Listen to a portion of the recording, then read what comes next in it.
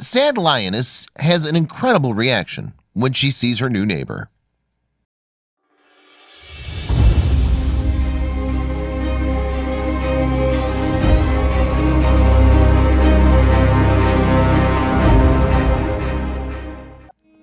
Happiness isn't always easy to find for wild animals raised in captivity. Some are fortunate, being cared for by zoos or sanctuaries where all their needs are met. But other animals, like those bought and sold illegally on the black market, never know what it's like to be safe or to feel happiness. When one badly suffering lioness had reached what she thought would be the end of her path, she was stunned to discover a reason to live, and to live happily, so close to home. But getting what she wanted wouldn't come so easily. Meet Sheila, a light-haired lioness with more strength than most lions already have. Sadly, her strength had been faltering, and Sheila had grown tired of putting on a brave face. See, Sheila always stood out from the crowd, as her very light coat is rare among lions. In fact, light lions like her are only found in Timbavati in South Africa. Unfortunately, her beauty also led to her demise. Because of her rare coloring and easygoing spirit, Sheila starred in countless photo shoots and music videos when she was young. While many people dream about a life in the spotlight, it was no place for a lioness. But that wasn't the worst of her jobs. Sheila was so popular that her owner pushed her further into the entertainment industry, where she attended parties and events and was forced to do tricks.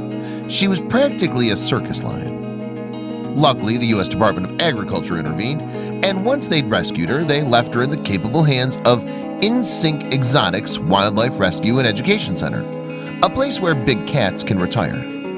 At first, InSync feared they'd have to put Sheila down. She was underweight and weak, could barely stand and refused to eat.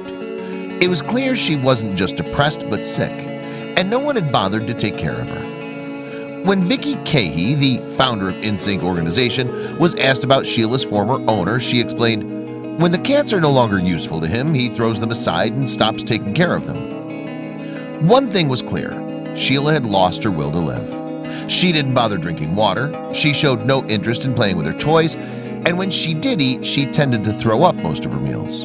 Things were looking very grim. Still, the workers at InSync refused to give up on the beautiful lioness. They even risked their fingers by hand feeding her in the hope she'd recover a little. Anything to keep her from being euthanized.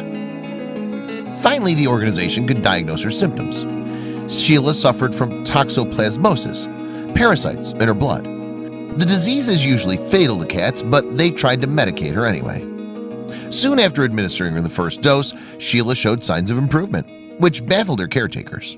Surely the medication couldn't be that effective that fast, so they wondered, was there something else making her feel better?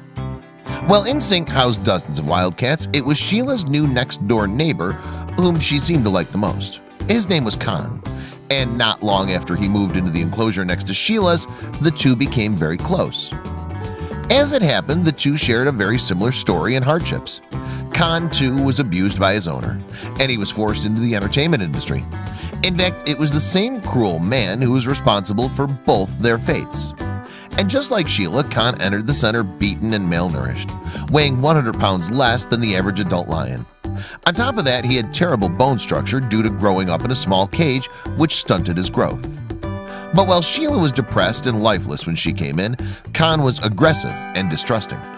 His injuries frustrated him, but as soon as those were treated, he started to ease up and be more relaxed. He even seemed to enjoy his new home. Still, lions are not meant to live alone. They belong with large groups called prides, which is why it's so saddening that both Sheila and Khan grew up completely isolated and were separated by enclosures for their own safety. Nevertheless, the two seemed to form a friendship through their barrier. So InSync decided to allow them to play with each other once in a while.